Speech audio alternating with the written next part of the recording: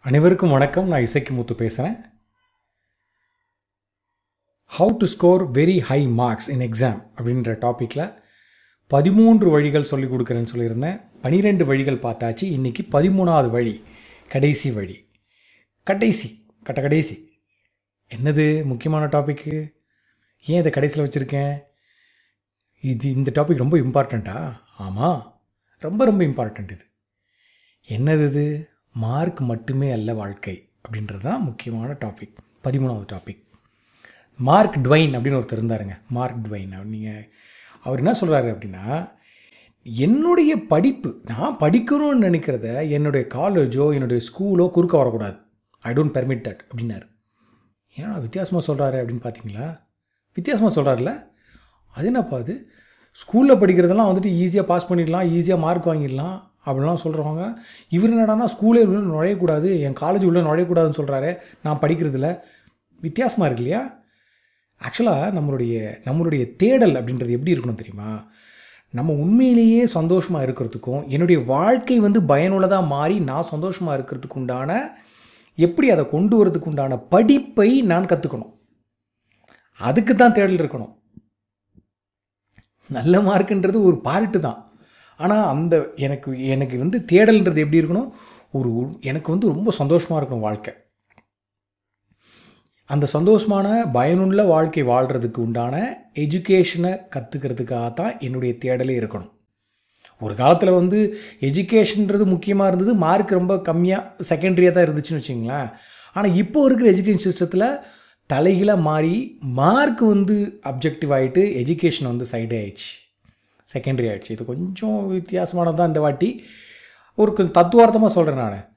உங்களுடைய ஆசை இருக்குல்ல என்னென்னலாம் ஆகணும்னு நினைக்கிறீங்களோ அதெல்லாம் உண்மையானதாக வச்சுக்கோங்க. ஓகே இதெல்லாம் உண்மையானது. ஓகே ஆனால் அதை அடைகிறதுக்கு உங்களுக்கு உங்களுக்கு பிளெஸ்ஸிங்ஸ் இருக்குது உங்களை அடைகிறதுக்கு உண்டான வாய்ப்புகள் நிறைய இருக்குது நீங்கள் என்னெல்லாம் ஆசைப்படுறீங்களோ அதெல்லாம் அடைகிறதுக்கு உண்டான வாய்ப்புகள் ஏகப்பட்டது இருக்குது அதே சமயத்தில் நீங்கள் உங்களுடைய குறைபாடையும் மற்றவங்களுடைய குறைபாடையும் அப்படியே ஏற்றுக்குங்க அப்படின்றதான் முக்கியமான பாயிண்ட் என்னது இது சொல்கிறேன் இப்போ அளவு உங்களுடைய அளவுக்கு அதிகமான ஒரு போட்டி மனப்பான்மை இருக்குன்னு வச்சுக்கோங்க உங்ககிட்ட. அது உங்களுடைய ஃபுல் ஹெல்த்தை பாதிச்சிடும் அளவுக்கு அதிகமான போட்டி மனப்பான்மை. ஒரு ஹெல்த்தியாக இருக்கணும்.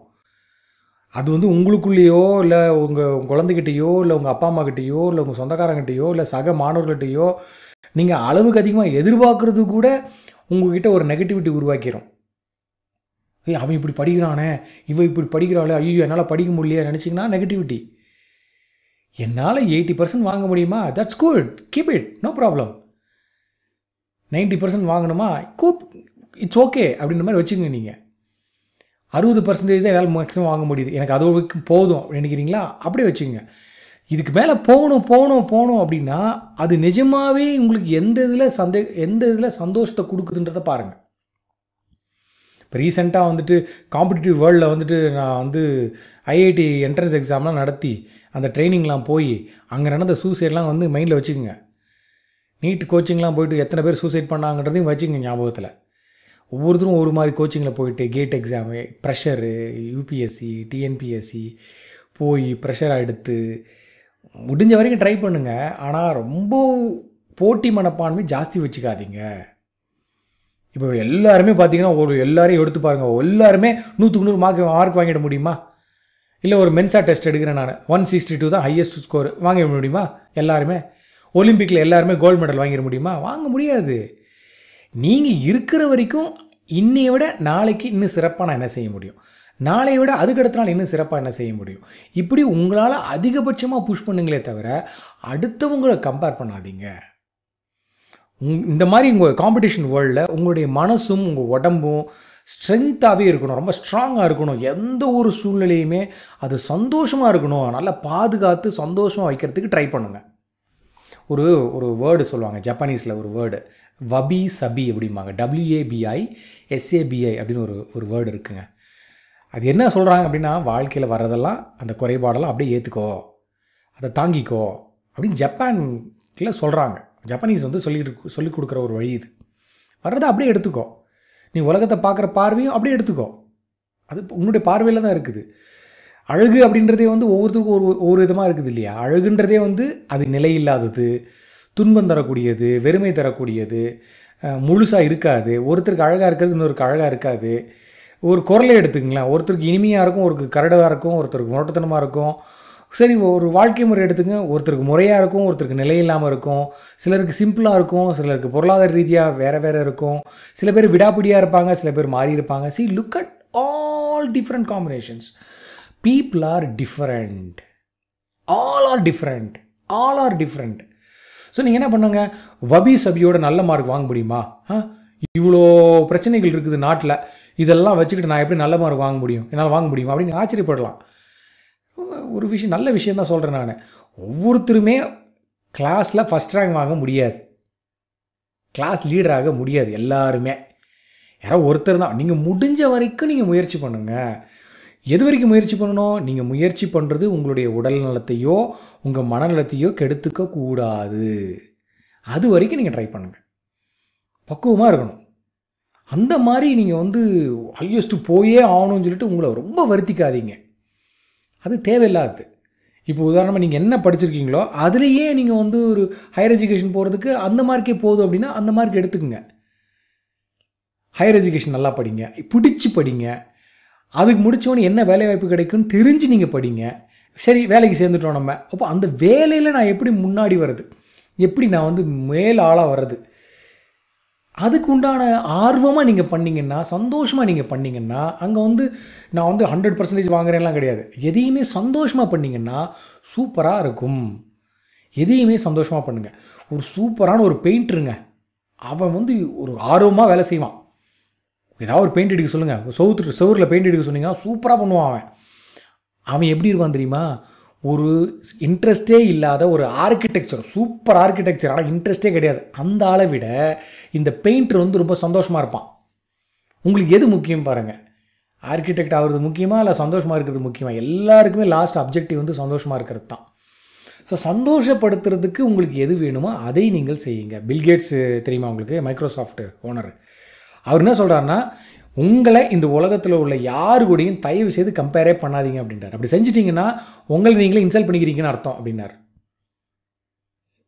உங்களை நீங்களே இன்சல்ட் பண்ணிக்கிறீங்கன்னு அர்த்தம். யாரையும் கூட கம்பேர் பண்ணாதீங்க. நீங்கள் தனி ஆள். யூனிக்கான ஆள். ஒரு மனுஷனை பற்றி இந்தியாவில் ஒரு ஒரு பெரிய ஒரு கதை ஒன்று இருக்குது. பழைய கதை. அந்த மனுஷன் என்ன பண்ணான்னா ஒரு கழி ஒன்று வச்சுருப்பான். கொ ஒரு கொம்பு. அந்த கொம்பில் ரெண்டு பக்கமும் மண்பானையை கட்டி தோளில் சுமந்துட்டு போவான். ரொம்ப தூரத்தில் போய் ஒரு கிணறுல போய் தண்ணி எடுத்துகிட்டு வந்து தன்னுடைய வயலுக்கு ஊற்றுவான் ஒரு ஒரு நாளும் ஊற்றிக்கிட்டு இருப்பான். இதில் என்னென்னா ஒரு பானை வந்து கொஞ்சம் பழைய பானை. அதில் கொஞ்சம் லைட்டாக வெரிசல் இருக்குது அதில். அதனால் என்ன பண்ணுது? இவ்வளோ தூரம் அவன் நடந்து வரும்போது கடைசியாக வந்து சேருமை பார்த்தா அந்த பா அந்த பானையில் பாதி பானை தான் தண்ணி இருக்கும். இன்னொரு பானை வந்து சூப்பர் பானை. அதில் உடசெல்லாம் இல்லாததுனால அது முழு பானையும் தண்ணி இருக்கும். ஆனால் இந்த பானை பாதி தான் இருக்கும். ஒரு காலகட்டத்தில் என்ன ஆச்சுன்னா அந்த உடஞ்ச பானையை பார்த்து இந்த நல் இந்த முழுசாக இருக்கிற பானை விரிசல் இல்லாத பானை வந்து கே கேலி பண்ணுது. கேலி பண்ணோன்னே இது ஒரு மாதிரி ஆயிடுச்சு கொமைஞ்சிருச்சு. ஐயோ என்னடா அப்படி கேலி பண்ணுறாங்களேன்ட்டு நம்ம வந்து சரியாக யூஸ் ஆகலை அப்படின்ட்டு என்ன பண்ணுச்சு அந்த பழைய பானை அந்த மனுஷன்கிட்ட போயிட்டு வேண்டிக்கிச்சு. ஐயோ நான் ரொம்ப கம்மியாக வேலை பார்த்துட்டு என்னை மன்னிச்சிருப்பா. நான் வந்து சரியாகவே வேலை பார்க்கல என்னை மன்னிச்சிரு என்னை வேணால் உடச்சி போட்டுரு அப்படின்னு சொல்லிச்சு. அந்த மனுஷன் ஸ்மைல் பண்ணிட்டே சொன்னால் அப்படிலாம் இல்லை. நம்ம இப்போ தான் தண்ணி மொண்டுறேன். நம்ம நடந்து போகிறோம் பாரு. நீ நடந்து வரக்கூடிய அந்த பாதையை பாரு அப்படின்னா பதில். சரின்னு அது பார்த்தா அந்த பாதையில் ஒரு பக்கத்தில் மட்டும் ஒரு பக்கத்தில் மட்டும் செடியும் பூவும் அப்படியே செழித்து வளர்ந்துருக்குது. எது? எது நம்ம விரிசல் உள்ள பானை? அந்த சைடு இருக்கிறது இல்லை? அது அது தன்னோட தண்ணியில் ஒரு பகுதி மூலமாக அந்த விரிசல் மூலமாக ஊற்றிக்கிட்டே வந்த பகுதி எது ஊற்றி அவன் சொல்கிறான் மனுஷன் நீ தண்ணி ஊற்றுன வழியில் இருக்கக்கூடிய அந்த அழகான செடியை பாரு. எனக்கு உங்ககிட்ட அந்த விரிசல் இருக்குன்னு நல்லாவே தெரியும். ஒன்று தூக்கி எறியதை விட அந்த விரிசலை நான் எப்படி யூஸ் பண்ணிக்கலாம் தான் யோ யோசிச்சேனே தவிர தூக்கி உன்னை விசிறி அடிக்கணும்னு நான் யோசிக்கவே இல்லை. என்னாச்சு? உங்ககிட்டருந்து வந்த தண்ணி கொஞ்சம் கொஞ்சமாக இங்கே உள்ள மலர்கள் ஆகட்டும் காய்கறி ஆகட்டும் பழங்கள் ஆகட்டும் இதெல்லாம் தண்ணி ஊற்றி வளர்த்துருக்கு அப்படின்னு விளக்கமாக சொன்னான் அவன். சில வேளையில் வந்து குறைபாடுகள் கூட வந்து ஒரு மாதிரி ஃபுல்ஃபில் ஆகிடும்பா சூப்பராக ஒர்க் அவுட் ஆகும். முறையாக பயன்படுத்துனீங்கன்னா ஒருத்தர் வீக்னஸ்ன்னு நினைக்கிறது கூட அவருடைய ஸ்ட்ரென்த்தாக மாறிடும். ஸோ உங்களை மற்றவங்களோட கம்பேர் பண்ணுறத தயவு செய்து நிப்பாட்டிடுங்க. நிப்பாட்டிடுங்க.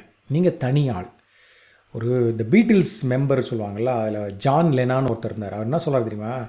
நான் அஞ்சு வயசாக இருக்கும்போது சந்தோஷம்தான் வாழ்க்கையில் உண்மையான ஒரு கீ அப்படின்றது எங்கள் அம்மா எனக்கு அடிக்கடி சொல்லிகிட்டே இருப்பாங்க. நான் ஸ்கூலுக்கு போயிட்டு இருந்தேன்னா ஸ்கூலில் வளர்ந்து பெருசான உடனே ஒரு பெரிய கிளாஸ் போன உடனே அப்போ என்ன கேட்டாங்கன்னா நீ இன்னும் பெரிய ஆளான உடனே உன் நீ என்னவாக எப்படியாக இருக்கணும்னு நினைக்கிற? அப்படின்னு கேட்டாங்க. ஸ்கூலில் படிக்கும்போது நான் வந்து சந்தோஷமாக இருக்கிறதுக்கு விருப்பப்படுறேன் அப்படின்னு நான் எழுதினேன் நான். அப்போ அவங்க கேலி பண்ணாங்க என்ன என்ன நாங்கள் கொடுக்குற ட்ரைனிங்லாம் உனக்கு நீ புரிஞ்சுக்கலன்னு நினைக்கிறேன்? நீ தப்பு தப்பாக எழுதுற அப்படின்னாங்க. அப்போது நான் என்ன சொன்னேன்னா நீங்கள் வாழ்க்கையை புரிஞ்சுக்கல அப்படின்னு நான் சொன்னேன். நீங்களும் தயவுசெய்து யோசிச்சு பாருங்கள் வாழ்க்கை எவ்வளோ பெரிய நல்ல வாழ்க்கை அப்படின்றது பாருங்கள் உங்களுக்கு எது வேண்டும் அப்படின்றத நீங்கள் ஞாபகம் வச்சு நீங்கள் பண்ணுங்கள் ஸோ இதுதான் வந்து நம்ம வந்து கடைசியாக சொல்ல வந்த வழி பதிமூணாவது வழி. எப்பயுமே சந்தோஷமாக இருங்க அப்படின்றது தான் வழி. எது கிடைச்சாலும் அது நல்லதே அப்படின்னு சந்தோஷமாக இருங்க. இந்த பதிமூணு வழிகளையும் நான் என்ன பண்ணியிருக்கேன் ஒரு டயக்ராம் மாதிரி லைட்டாக வரைஞ்சி அதை வந்து நம்ம national engineering college electronics department Prasanna Venkatesh சார்கிட்ட அந்த டயக்ராத்தை நான் வாட்ஸ்அப் பண்ணியிருக்கேன். நீங்கள் அந்த டயக்ராம் வேணும்னா நீங்கள் அந்த சாரை கேட்டிங்கன்னா அவர் உங்களுக்கு வாட்ஸ்அப் பண்ணி வைப்பார். அந்த டயக்ராம் வந்து கண்டிப்பாக உங்களுக்கு யூஸ்ஃபுல்லாக இருக்கும். ஒரு சின்ன பேஜ் ஒரு பேஜ் டயக்ராம் தான் அது. ஸோ பாருங்கள் நீங்கள் பார்த்துட்டு நல்லபடியாக மார்க் வாங்கி நல்லபடியாக படித்து முன்னேறதுக்கு உங்களை நான் வந்து வாழ்த்துறேன். நிறைய புக் இருக்குங்க படிக்கிறதுக்கு. இந்த மாதிரி நான் அஸ்வின் சாங்கி எழுதின thirteen steps to bloody good luck Lucinda Becker எழுதின fourteen days to exam success ஏகப்பட்ட புக்கு எல்லா புக்கையும் எடுத்து படிங்க. எப்போ ஃப்ரீயாக இருக்கீங்களோ அப்போ படிங்க. ஸோ எப்படி படிக்கிறது? எப்படி முன்னுக்கு வருது அப்படின்னு உங்களுக்கு எல்லாமே தெரிஞ்சு போயிடும். என்னை வந்து மாற்றின ஒரு விஷயம்? நான் காலேஜில் படிக்கும்போது மாற்றின விஷயம் அப்படின்னா பாலகுமாரன் நாவல்லாம் நான் படிப்பேன் நான். எப்பப்போ ஃப்ரீ டைம் இருக்குமோ அப்போல்லாம் படிப்பேன். அது என் வாழ்க்கையை நல்லா தடம் புரட்டி போட்டுச்சு. அது வந்து எப்படி படிக்கணும் சொல்லி கொடுத்துச்சு எப்படி வாழணும் சொல்லி கொடுத்துச்சு. ஸோ ஒவ்வொரு புக்கும் ஒரு மாதிரி. நல்ல தரமான ஒரு புக்காக எடுத்து நீங்கள் படிச்சீங்கன்னா அது கண்டிப்பாக உங்களுடைய வாழ்க்கை முறையை மாற்றி வைக்கும் தரமான புக்கை தேர்ந்தெடுக்க வேண்டியது உங்கள் கையில் இருக்குது உங்கள் மூளையில் இருக்குது நீங்கள் எதாகணும்னு நினைக்கிறீங்களோ அது மாதிரி ஆயிடுவீங்க. அப்படின்னு சொல்லி இந்த தொடரை நான் நிறைவு செய்கிறேன். நன்றி வணக்கம். அன்புடன் இசக்கி முத்து.